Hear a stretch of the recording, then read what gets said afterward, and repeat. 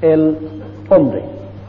Apenas el hombre aparece, no se aparece como un animal, un animal evolucionado, un póngido, un simio, erectus.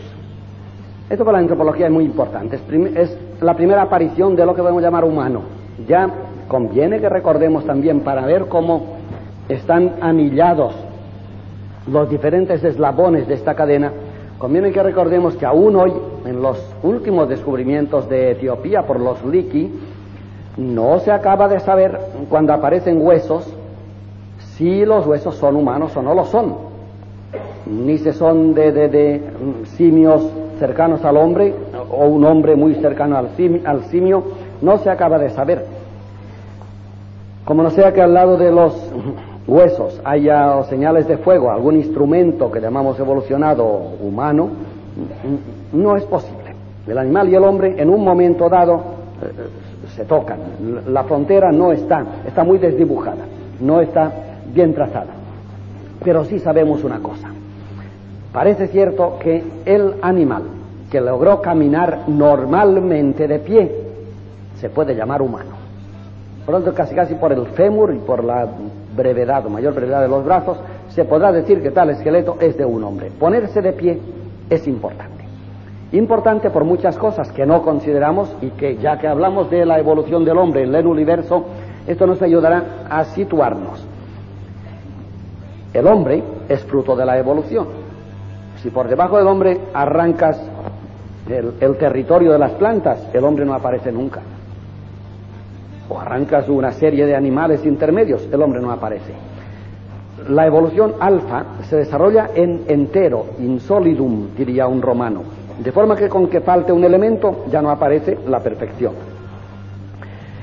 El Homo erectus es una síntesis de adaptación al territorio por parte del animal y de ingestión del territorio por parte del animal. Es decir, hay una interacción entre el animal y el territorio, que importante, ¿verdad? Esto quiere decir que sin el territorio el animal no sería lo que es. Y digo que es importante porque los paisajes, como saben, los llevamos dentro y los llevamos dentro fabricándonos ellos a nosotros continuamente. El animal que va horizontal por la tierra va con los ojos pegados al suelo.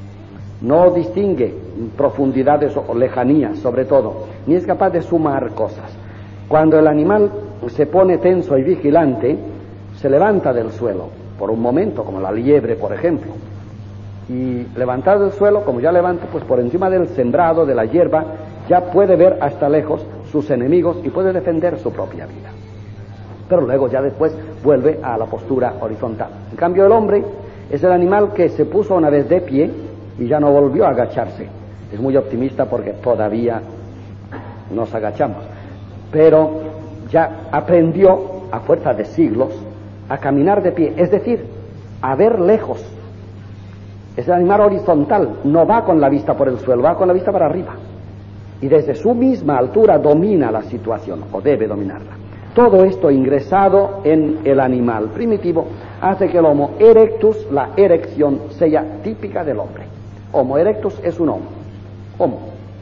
¿Por qué? Porque en él se dan una infinidad de cosas que le hacen totalmente diferente de aquellos que, con ese solo detalle, por la falta de ese detalle, se definen, que son los que no andan erigidos, los que no andan de pie. Este Homo erectus, por tanto, es la gran consecución del animal, la gran consecución de alfa que pasa de piedra a planta animal y que el animal puesto de pie es otra emergencia. Qué curioso, ¿verdad? Nadie diría que una, una piedra, según su postura, sea diferente de otra. Y en cambio, en el reino animal superior, la postura erecta diferencia al hombre del animal más cercano a él.